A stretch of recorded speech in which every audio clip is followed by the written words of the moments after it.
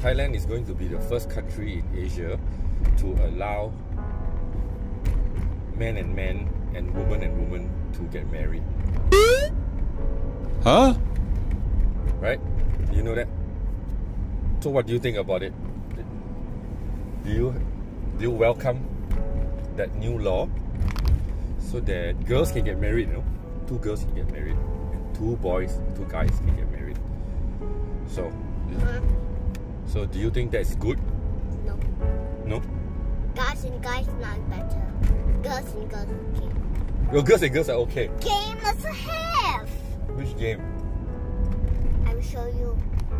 Okay. So you I download one, you know. so you saying what guys and guys cannot, but girls and girls can.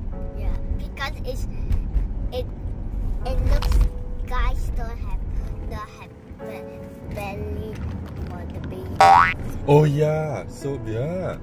Because guys don't have Like you are. But some people are pregnant what? The big belly guys. Like, like who? Who has a big belly? Nobody Yeah, nobody. see. Only Goppa. Oh. Goppa has a baby in the tummy.